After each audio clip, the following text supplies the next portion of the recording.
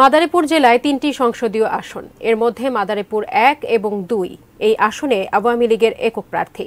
তবে মাদারীপুর তিন আসনে আওয়ামী লীগের প্রার্থী আব্দুস সোবহান ওরফে গোলাপের সাথে স্বতন্ত্র প্রার্থী হিসেবে প্রতিদ্বন্দ্বিতা করছেন উপজেলা আওয়ামী লীগের সভাপতি তাহমিনা সিদ্দিকী।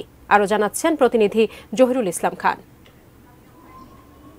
মাদারীপুর জেলায় তিনটি সংসদীয় আসন।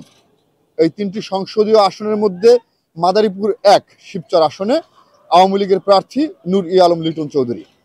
তার সাথে সেখানে প্রতিদ্বন্দ্বিতা করছেন অন্য চারজন প্রার্থী।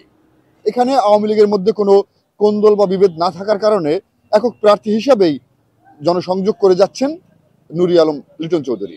তবে মাদারীপুর দুই আসনে আওয়ামী লীগের মনোনীত প্রার্থী সাতবারে নির্বাচিত সংসদ সদস্য শাহজাহান খান তার সাথে প্রতিদ্বন্দ্বিতা করছেন দুজন প্রার্থী।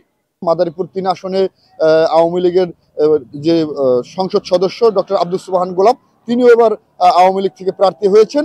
অপরদিকে উপজেলা আওয়ামী লীগ কালকিনি যে তিন আসনের, সেখানে উপজেলা আওয়ামী লীগের যে সভাপতি অধ্যাপিকা তাহমিনা সিদ্দিকী এবং তিনি স্বতন্ত্র হিসেবে প্রার্থী হয়েছেন যে কারণে আওয়ামী লীগ কিন্তু সেখানে দুটি সমান ভাগে বিভক্ত।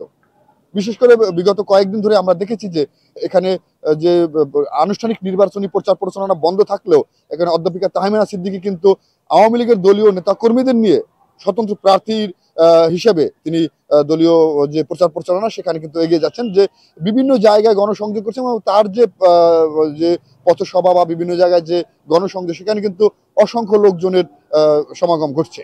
যেহেতু আনুষ্ঠানিক প্রচার প্রচারণা নেই, সেহেতু প্রার্থীরা বিভিন্ন জায়গায় গণসংযোগ এবং পথসভা করছেন এবং এখন পর্যন্ত পোস্টারিং বা অন্যান্য কোনো ধরনের কার্যাবলী দেখা যায়নি।